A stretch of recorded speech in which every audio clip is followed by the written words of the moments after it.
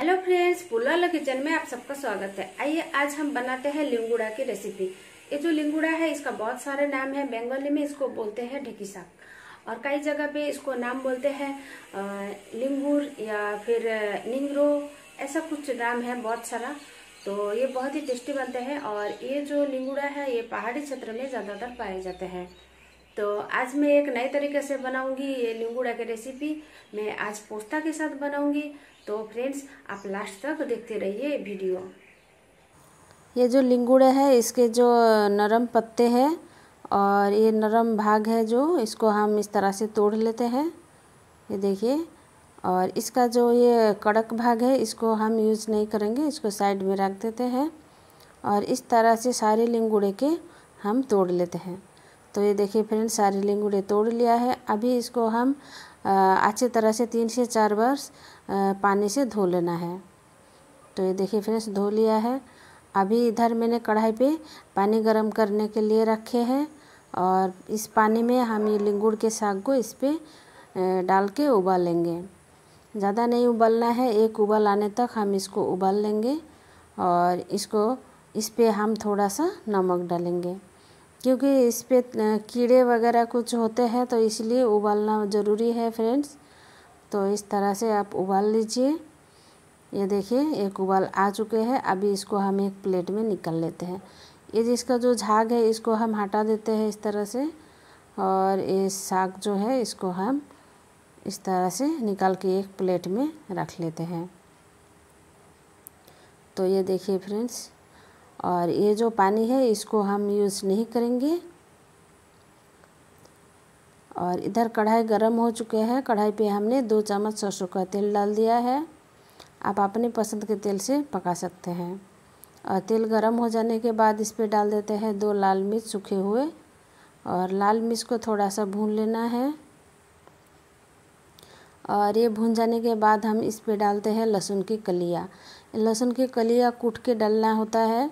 ये बहुत ही टेस्टी होता है फ्रेंड्स। कोई भी साग पे अगर लहसुन डालते हो तो बहुत ही टेस्टी बनते हैं। और उसके बाद डाल देते हैं एक प्याज, जो मैंने लंबे आकार से काट लिया है।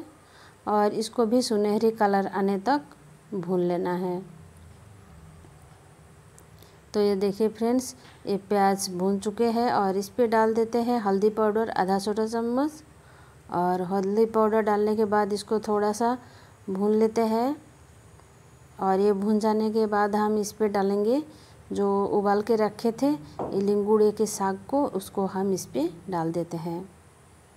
तो देखिए फ्रेंड्स, और इसको भी हम थोड़ा सा भून लेते हैं।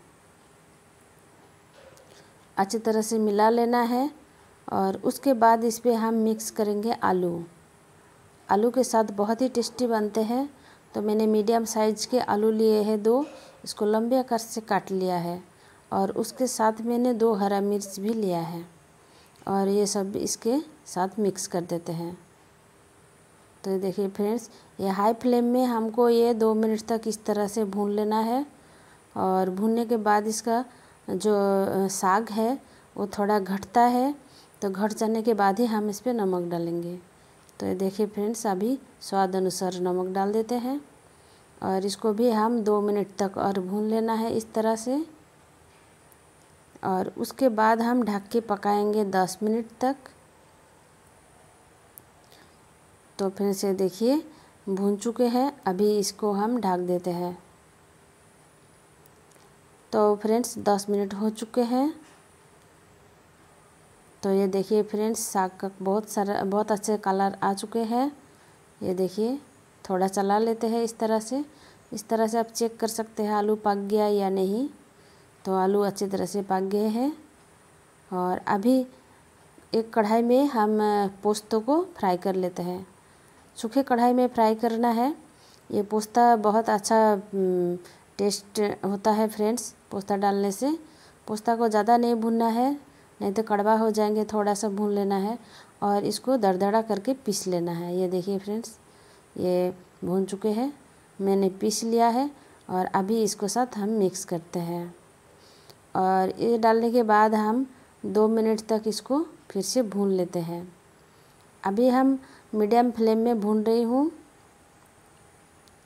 तो ये देखिए फ्रेंड्स, इस तरह से भून लेना है। बहुत ही टेस्टी बनता है ये लिंगुड़े आलू और ये पोस्ता के साथ अगर बनाते हो तो फ्रेंड्स, आप एक बार ज़रूर ट्राई कीजिएगा और कमेंट में ज़रूर बताइएगा आपको कैसा लगा। अगर अच्छा लगे तो मेरे वीडियो का लाइक, कमेंट शेयर कर दीजिए और चैनल को सब्सक्राइब करना ना भूलिए। तो friends thank you so much मेरे ये वीडियो देखने के लिए।